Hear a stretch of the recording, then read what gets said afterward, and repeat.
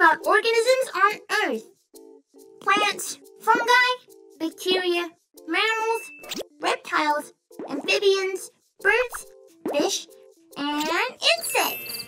I like insects. I like human mammals like Marie and her dad. And Tyler too. But insects, insects are really cool. They are small and they are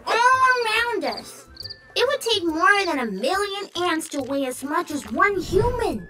Whoa. And butterflies taste with their feet, while dung beetles can roll poop up into 10 times their own weight. I'm not sure why they would do that though. Insects are mysterious. Insects can survive in all types of places. And they have a really long history. Some are known to have been around even since the age of dinosaurs. Like cockroaches. They are ancient and very tough creatures. Tyler likes to call them bugs, but I am an expert on insects now, so I told him. No, Tyler, a bug is a certain type of insect that has a mouth shaped like a straw. Not all insects are true bugs. But Tyler says that everyone calls insects bugs anyway, so he doesn't care.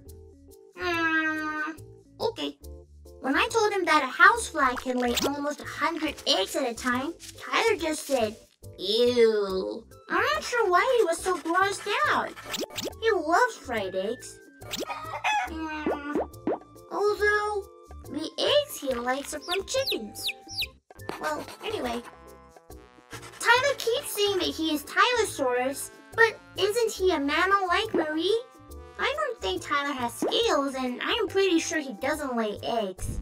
Tyler also said that I will be Argosaurus if I were a dinosaur. That sounds so cool! I wonder what I would look like as a dinosaur. So Marie and I are going to visit Dr. Carl again now. Maybe he will know more, and perhaps we will meet another dinosaur. That was really fun. Till then.